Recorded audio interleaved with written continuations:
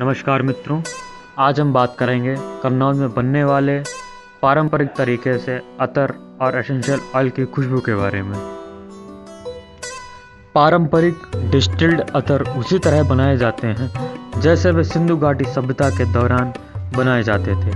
पारंपरिक अतर बनाने के मुख्य घटक तांबे व मिट्टी के बर्तन होते हैं, जिन्हें डीग कहा जाता है। एक तांबा प्राप्त करने वाला बर्तन चंदल के तेल से युक्त होता है, जिसे भपका कहा जाता है। और सभी निष्कर्षण तकनीकों का सबसे धीमा और सबसे कोमल, अर्थात हाइड्रो डिस्टिलेशन भाप आसवन, जो बहुत अधिक तापमान पर आयोजित किया जाता है। चलिए, आज हम बात करते हैं रोज़ अतर, यानी गुलाब के अतर के बारे में, कि ये कैसे हाइड्रो डिस्टिलेशन प्रोसेस के ज़रिए इसको नेचुरल तरीके से तैयार किया जाता है। यह एक बड़ी ही सुंदर प्रक्रिया है, जो कि धीमी और श्रमसाध्य है। सबसे पहले गुलाब के खेतों से आए हुए ताज़े गुलाब के फूलों की पत्तियों को तोड़कर व उनको साफ़ करके इन तांबे की डेक के बर्तनों में भरा जाता है।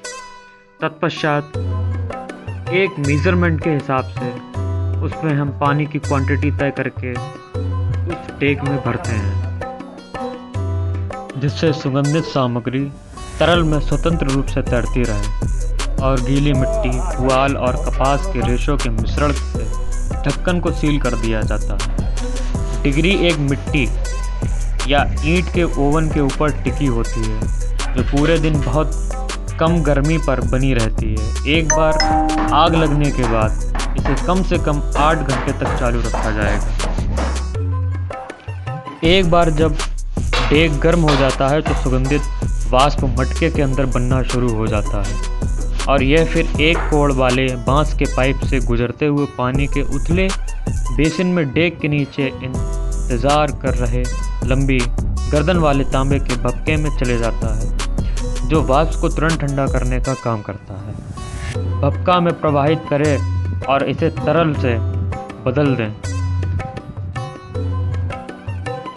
भक्के में पहले से ही एक तरह के बेस ऑयल का इस्तेमाल किया जाता है, जो गुलाब की पंखुड़ियों की सुंदर सुगंध और लगाने वाले गुणों के लिए बेशकीमती है। Like and share it India Kannauj the perfume city